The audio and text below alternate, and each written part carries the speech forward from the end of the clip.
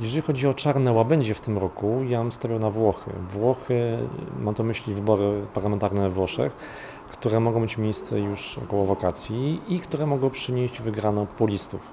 E, to w połączeniu z sytuacją, kiepską sytuacją banków we Włoszech, no może dać oczywiście jakieś tutaj ogromne, ogromne wahania na rynku. Jeżeli natomiast chodzi o politykę europejską w postaci czy Holandii, czy wyborów we Francji, czy wyborów w Niemczech, e, to jest moim zdaniem niepotrzebnie przerasowane, bo tutaj w tym przypadku raczej nic strasznego się nie pojawi, ale Francji raczej wygra François Fillon niż e, Marine Le Pen.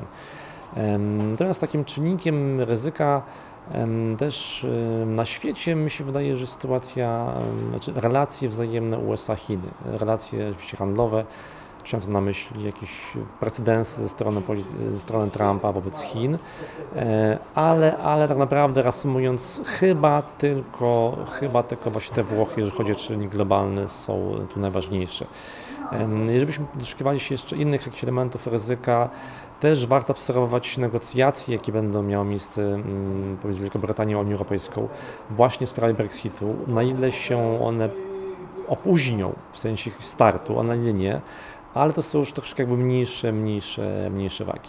W tym pierwszym kwartale złoty może być mocny, bo e, Wcześniej byliśmy słabi przez słabe dane makroekonomiczne, to się teraz e, poprawia. Zobaczmy, że inflacja nam skoczyła wyraźnie w grudniu w górę i oczekiwania na podwyżkę stóp się e, nam przyspieszyły w czasie. Więc złoty mocny do marca, potem właśnie temat po części włoski może nam szkodzić.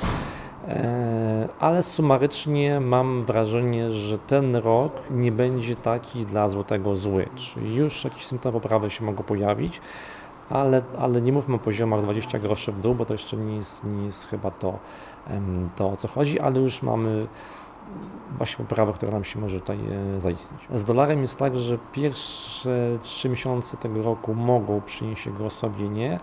Potem oczekiwam właśnie, że e, pójdziemy wyżej przez e, ryzyko stron polityki, ale i też przez to, że w czerwcu może mieć miejsce kolejna podwyżka stóp procentowych przez Fed. Już z kolei teraz będzie trzecia w, w cyklu, więc to dolara może wspierać. Natomiast w końcu roku ja bym się bardziej przyglądał nie dolarowi, a euro, do, e, w ogóle euro w relacji do innych walut. Z tego powodu, że e, będziemy mieć dyskusję na temat tego, co zrobi Europejski Bank Centralny w przyszłym roku, czy na przykład nie zakończy programu skupu aktywów. Jeżeli chodzi o franka, ja postawiłem taką prognozę, może trochę śmiałą, że może być 3,86 e, do marca, czyli dość nisko. I to być może będzie okazja tego, żeby franki, franki e, dobrze kupić, e, bo potem pamiętajmy właśnie o tym ryzyku strony Włoch, e, które może podbić znów franka w górę. Natomiast jeżeli patrzymy na franka tak całościowo, to jakichś takich radykalnych zmian bym się nie spodziewał. Widać, że Bank Szwajcarii czuwa, no ale czuwa tak, że stabilizuje, natomiast już nie robi, znaczy nie jest tak silny, żeby stawić franka samemu, natomiast stabilizuje kurs, jak to się złego dzieje.